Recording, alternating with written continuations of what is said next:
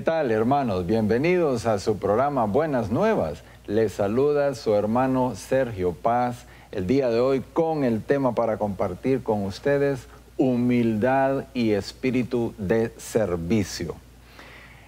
En el Evangelio, según San Mateo, capítulo 23, versículos del 1 al 7, el Señor plantea cómo los escribas, cómo los fariseos se habían hecho cargo, se habían apoderado, por decir así, de la doctrina de, de Moisés y solo preocupados, preocupadísimos por sí mismos, habían abandonado a quienes se les había encomendado, a las gentes sencillas que andaban desanimadas, abatidas como ovejas sin pastor. Pues estos escribas y fariseos estaban muy preocupadísimos. ¿Por qué? Para ocupar los primeros puestos ahí donde ellos iban, en los, en los banquetes. Eh, les encantaba andar figurando por todos lados. Ellos pasaban así muy preocupadísimos de ser saludados por todo el mundo ahí en la plaza, ¿no? preocupados de ser llamados maestros. Eso es lo que les encantaban a ellos, ¿no? Habían sido constituidos, ellos habían sido llamados, podemos decir así, a ser sal y luz, sal y luz para el pueblo de Israel, pero más bien dejaron al pueblo sin la sal y sin la luz. También ellos mismos se quedaron a oscuras, podemos decir así, espiritualmente hablando. Ellos mismos, los escribas y los fariseos. ¿Qué pasó ahí? Cambiaron la gloria de Dios por su propia gloria. La palabra nos dice que hacían todas las obras, todo absolutamente, para ser vistos por los hombres. ¿A cuántos de nosotros nos pasa igual? Nos encanta andar figurando nos encanta que nos saluden, nos encanta que nos aplaudan, que nos feliciten, nos encanta andar figurando. ¿A cuántos de nosotros nos pasa igual? Bien, la soberbia y la búsqueda de la vanagloria les habían hecho perder dos de las características principales de todo seguidor de Jesús, la humildad y el espíritu de servicio. Y esto por culpa de la soberbia, de la prepotencia. Como discípulos del Señor, hermanos, la pregunta es, ustedes y yo, ¿nosotros practicamos estas dos virtudes en nuestra vida diaria? Deberíamos, ¿eh? Si nos queremos parecer al Maestro, deberíamos de practicarla diariamente. Pues Cristo hace una advertencia a sus discípulos en Mateo capítulo 23, versículo 11. Dice, que el más grande de ustedes se haga servidor de los demás. Palabra del Señor. Y él mismo nos los enseñó con su propio ejemplo. Lucas 22, 27. Porque ¿quién es el más importante? ¿El que está en la mesa, dice el Señor, o el que sirve? No es el que está en la mesa, sin embargo, yo estoy en medio de ustedes como el que sirve. Palabra del Señor. Mis queridos hermanos, una gran verdad. Sin humildad, sin espíritu de servicio, no es posible vivir. No es posible practicar la virtud de la caridad, que les recuerdo, es la virtud sobre la cual vamos a ser juzgados frente al Señor cuando nos llame de este mundo. Repito, sin humildad y sin espíritu de servicio no es posible vivir la caridad con los demás.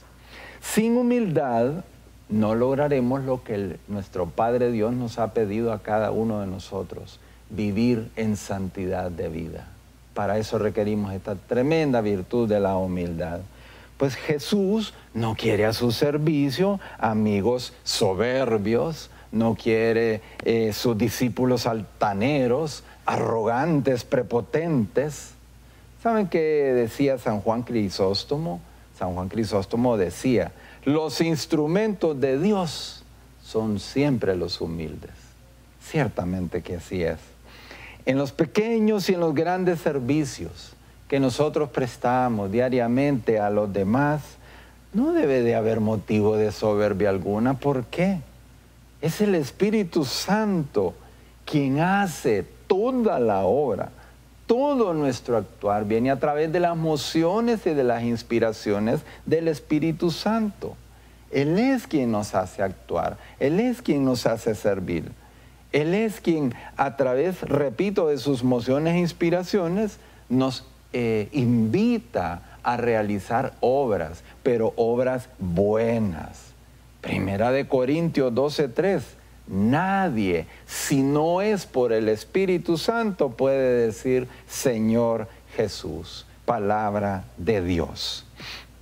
Sin la ayuda del Espíritu Santo, de nada servirán nuestros mayores esfuerzos por hacer que una una buena obra que nosotros llevemos a cabo sea agradable a Dios. Así que la pregunta es, ¿por qué jactarnos cuando nosotros hacemos el bien? Si el bien viene inspirado por el Espíritu Santo, no es de nuestra propia naturaleza, entonces ¿por qué jactarnos, hermanos?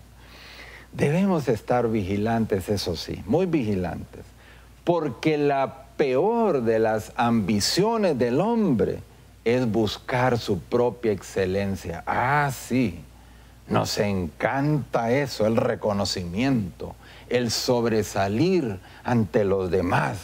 Nos encanta el aplauso humano, el ganar protagonismo. Así hicieron los escribas y los fariseos. En lugar de buscar la, la gloria de Dios, muchos hoy en día buscan su propia gloria, incluso servidores de Dios, muchos servidores de Dios. Por lo tanto, ¿qué tenemos que hacer, hermano? Tenemos que pedirle al Espíritu Santo que nos ayude a eso, ¿ve? A erradicar de nuestra vida este terrible defecto de la, de la jactancia, de la prepotencia, de la soberbia. Decirle, Señor, elimina eso de mi vida elimínalo por las funestas consecuencias que genera la soberbia en nosotros y a nuestro alrededor, con la gente que nos rodea.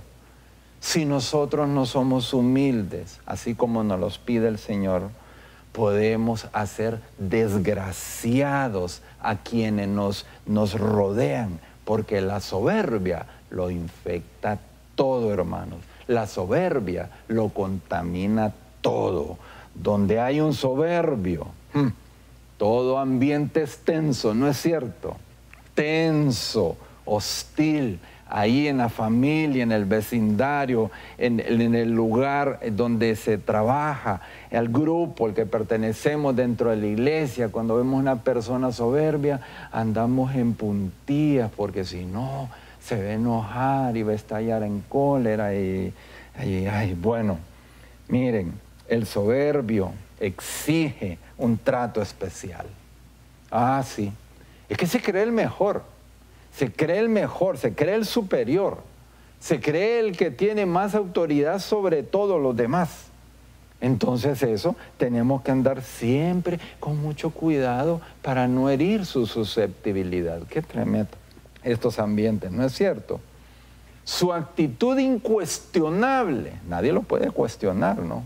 Su actitud incuestionable en las conversaciones, o sea, nadie le puede preguntar, nadie le puede argumentar, sus intervenciones irónicas, llenas de sarcasmo, al, soberbio no le importa herir y hacer quedar mal a los demás. Las tendencias de siempre ser el último en poner el punto final en las discusiones, etcétera, etcétera. Todas estas son manifestaciones o características típicas de una persona soberbia, prepotente. Eso así, y de esos conocemos muchos, de esas personas que han puesto en el horizonte de su vida a sí mismas, ellos mismos. Vendría bien recordar aquí lo que dice nuestro Señor en Santiago, capítulo 4, versículo 6, para que lo tengamos muy presente, hermanos si es que padecemos de este defecto. Escucha las palabras del Señor que pone en Santiago. Dios resiste a los soberbios y da su gracia a los humildes. Palabra de Dios. Dios resiste a los soberbios. Sinónimo de resiste. Dios no tolera a los soberbios. Dios no soporta a los, a los soberbios. Imagínate qué duro las palabras del Señor. ¿eh? Jesús es el ejemplo supremo de humildad y de entrega a los demás. Nadie sirvió con tanto esmero, con tanta atención a los hombres. Lucas 22, 27. Yo estoy en medio de ustedes como el que sirve. Sigue siendo esa su actitud con cada uno de nosotros, siempre presto a, servirnos, a ayudarnos, a levantarnos cuando nosotros tenemos necesidad. El Señor por boca del profeta Isaías nos dice, Isaías 1.17, aprendan de mí hacer el bien, palabra de Dios. Y solo aprenderemos si nos fijamos en nuestro modelo que es Jesús, si leemos y meditamos frecuentemente la palabra, sus enseñanzas, para así entonces poder imitar su ejemplo. Somos cristianos, hermanos, no solamente porque decimos que amamos a Jesús, ese es el 50%.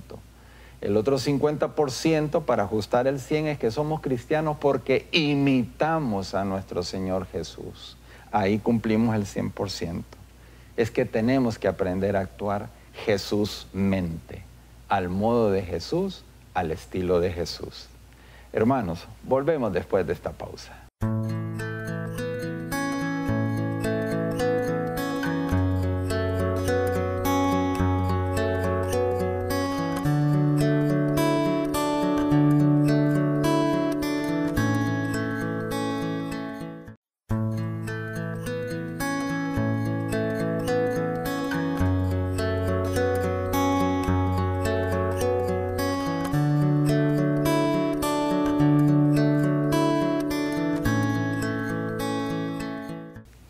Hermanos, volvemos con el tema humildad y espíritu de servicio. Nos dice nuestro Señor en el Evangelio según San Juan capítulo 13 versículo 15, ejemplo les he dado para que como yo he hecho con ustedes, así hagan ustedes. Así nos dice el Señor. Y esto sucedió después de lavarle los pies a sus discípulos, ¿se acuerdan, no? Nos enseña nuestro Señor Jesús con su propio ejemplo la manera de proceder de un auténtico discípulo suyo, servidor de los demás. Nos deja una suprema lección para que entendamos que si no somos humildes, si no estamos dispuestos a servir como Él, no podremos seguirle. Así de claro y sencillo. Y precisamente el Señor nos invita a seguirle, nos invita a imitarle y nos deja una regla muy sencilla pero exacta para vivir la caridad con humildad y con un espíritu de servicio. Mateo 7:12, todo lo que quieran que los hombres hagan con ustedes, ustedes también háganlo con ellos. Palabra del Señor la famosa regla de oro, ¿no? La experiencia de lo que me agrada que me hagan o que me molesta que me hagan, de aquello que me hace feliz o que me entristece. Mire, esa es una buena norma, es una buena medida de aquello que yo debo de hacer o debo de evitar hacer en mi trato con los demás. Esa es la medida. ¿Qué es lo que me gusta que me hagan? ¿Qué es lo que me disgusta que me hagan? Bueno, yo no se lo voy a hacer a los demás. Así de sencillo. Por ejemplo, todos, todos deseamos pues una palabra de aliento cuando las cosas no nos salen bien. Deseamos que los demás tengan comprensión con nosotros ahí de vez en cuando, ¿no? A pesar de nuestra buena voluntad cuando nos hemos vuelto a, a equivocar. A todos nos gusta que nos traten así, ¿no es cierto? Claro que sí. Y también deseamos que nadie hable mal a nuestras espaldas.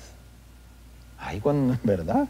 Y, y, cómo nos agrada también, por el otro lado, que alguien salga en nuestra defensa cuando la gente nos está criticando, cuando nosotros no estamos presentes. También nos, nos agrada mucho eso. También nos agrada sobremanera cuando otros se preocupan de verdad, cuando nosotros estamos enfermos y nos llaman o nos visitan. De igualmente, agradecemos eh, eh, que se nos haga de frente lo que es una corrección fraterna, cuando las cosas no las hacemos bien, ¿no? En vez de que esa persona ande comentando con otros, hombre, mucho agradeceríamos que viniera y nos dijera por aparte, mira, te equivocaste en esto, esto hiciste mal. Agradecemos que nos diga a nosotros, no a los demás. Así también, cuánto agradecemos que los demás recen por nosotros, ¿no es cierto? Y hasta lo pedimos, ¿no? A todos nos gusta todo esto, lo anterior. ¿Verdad que sí? Yo sé que sí, a todos nos gusta. Estas son las cosas que, así como nos gustaría que nos las hicieran a nosotros, pues también nosotros tenemos que hacer a los demás. Repito, esta es la famosa regla de oro. Isaías 1.17, aprendan a mí hacer el bien. Ahora, ¿cómo podemos lograr hacer el bien hoy en día, ¿no? que se nos invita a hacer lo contrario? Pero ¿cómo podemos hacer el bien? Bueno, de dos maneras. Uno con humildad y el otro siendo serviciales. ¿Sí? Con humildad, sabiéndole que, sabiendo que tenemos que dar a Dios toda la gloria de cuanto hacemos, sin buscar ahí andar haciendo reconocidos, ni tan siquiera andar buscando que se nos agradezca sino que procuremos hacer los favores y los servicios a los demás sin que ellos se den cuenta para que no nos los agradezcan. Ahí le damos un golpe a la soberbia, ¿no? Y la otra manera, como les decía, es siendo serviciales. Siempre tenemos que estar pendientes de lo que ocurre a nuestro alrededor para ver si alguien necesita una ayuda. No esperar a que me pidan la ayuda. Es yo, si detecto a alguien en mi casa, en mi vecindario, en mi trabajo que necesita una ayuda, es ser proactivo, tenemos que ser cristianos proactivos y decir, ¿te puedo ayudar en algo, hermano, hermana? ¿No? Bien. Mateo 23, 11, que el más grande entre ustedes se haga servidor de los demás, así nos dice el, el Señor. Bueno, pero eso sí, para poder lograrlo, hemos de dejar a un lado, miren, nuestro egoísmo, hemos de dejar nuestra comodidad. Claro, y es que el siguiente debe ser precisamente uno de los principales objetivos de nuestra vida como hijos de Dios. ¿Cuál es? Debemos buscar siempre hacerle la vida más amable a los demás. Tengámoslo como meta. A nuestros amigos, a nuestros familiares, a los vecinos, a los compañeros, a los hermanos de iglesia, a los conocidos o desconocidos. Tengamos por regla general eso. Ayudemos a los demás Hagámosle la vida más amable a los demás. Es que si no lucháramos diariamente por olvidarnos cada día más de nosotros mismos, ¿qué pasaría? Ah, lo que pasaría eh, eh, es que eh, no nos vamos a dar cuenta de las necesidades de los que nos rodean, porque vamos a estar muy centrados en nosotros. Entonces no nos vamos a dar cuenta de las necesidades de los demás, ¿me entienden? Bien. En otras palabras, por andar así, como que muy pendiente de nosotros mismos, no nos daríamos cuenta de los sufrimientos y de las necesidades de la gente que nos rodea a diario. Claro que no. El egoísmo ciega y nos cierra el horizonte de los demás. La humildad, en cambio, pues abre el camino, da lugar a la caridad, por medio de la cual pues llevamos a cabo gozosamente buenas obras en favor de nuestros hermanos necesitados, ¿ok? Pues así con un espíritu humilde, con un espíritu alegre, de apertura, de disponibilidad a los demás, se es capaz de transformar cualquier ambiente hostil en uno fraterno. Claro que sí. Y es que la caridad cala, hermanos, la caridad cala, así como el agua en la grieta de una piedra que acaba rompiendo hasta la resistencia más dura. Amor saca amor, decía Santa Teresa. Y, también decía San Juan de la Cruz, que más que todo era un consejo. Y es un consejo que nosotros debemos de seguir, más que todo hoy en día, repito, que es un mundo bien, bien hostil, ¿no? Eh, aconsejaba él, donde no hay amor, pon amor y sacarás amor. Repito, ahí donde no hay amor, pon amor y sacarás amor. Practiquémoslo, ¿no? Primera de Tesalonicenses capítulo 2 versículo 8. Os teníamos tanto cariño que deseamos entregarnos no solamente el Evangelio de Dios, sino hasta nuestras propias personas, porque han pasado a ser muy queridos nuestros. Así manifestaba San Pablo, eh, San Pablo sí, a los cristianos de Tesalónica. O sea que no solamente, hermanos, se trata de dar un servicio, hacer un favor a los demás, dar algo material, ropa, comida, vestido, no, se trata de darnos nosotros, darnos a los demás. Eso, en, eso consiste, ¿ok? Bueno, y si nosotros imitamos el Evangelio de, de San Pablo que mencioné anteriormente, tendríamos con seguridad frutos apostólicos parecidos a los suyos, ¿ok? Bien, Decía San Juan Pablo II en su homilía en la misa para las familias. De modo particular, hemos de vivir ese espíritu del Señor con los más próximos en la propia familia. El marido no busque únicamente sus propios intereses, sino también los de su mujer. Y esta también busque los intereses de su marido. Los padres busquen los intereses de sus hijos y estos a su vez busquen los intereses de sus padres. El respeto de esta norma fundamental explica que no se haga nada si no es con humildad, con alegría y con amor. Así es como debemos de prestar nosotros nuestros servicios y favores a los demás. Si actuamos así, sirviendo a los demás con mucho amor y alegría y buscando en todo momento su bien y su felicidad, me refiero al de los demás, si actuamos así, miren, no pasaríamos perdiendo el tiempo juzgando a los demás, viendo la paja en el ojo ajeno, es decir, no pasaríamos ahí resaltando los defectos, los errores de los demás, los cuales buscamos aumentar y nuestros defectos disminuir. No pasaríamos. Nos pasaríamos entretenidos viendo las cosas positivas, no negativas. La humildad, en cambio, nos hace reconocer en primer lugar nuestros propios defectos y errores, lo cual es muy importante. Y esto entonces nos hace estar en condiciones de ver con comprensión los defectos de los demás y entonces podemos prestar con mucho cariño, con mucho cariño, ayuda para que ellos corrijan estos, sus defectos, sus, sus errores, pero sin herirles, hermanos, sin, sin, sin ridiculizarlos sin hacerlos sentir mal, corrijamos con amor, con tranquilidad, con, delicadeza, ¿no? También si somos humildes, estaremos en condiciones de quererles a los demás, de aceptarles aún con sus deficiencias, ¿ok? Bien, queremos eh, parecernos a Jesús, entonces practiquemos diariamente estas dos virtudes, la humildad y el espíritu de servicio. Pidámosle entonces ayuda a nuestra Santísima Madre, quien se, se proclamó servidora del Señor, para que nos ayude siempre a servir a los demás desinteresadamente y así con mucha alegría, con mucho amor, así como lo hizo su propio Hijo. Pero para poder servir a los demás, hemos de pedirle también ayuda a ella que interceda ante su Hijo para que previamente, previamente nos ayude a ser personas verdaderamente humildes. Hermanos, los invitamos para que nos acompañen en el siguiente programa y recuerden, nunca, pero nunca nos cansemos de hacer el bien a los demás. Bendiciones abundantes.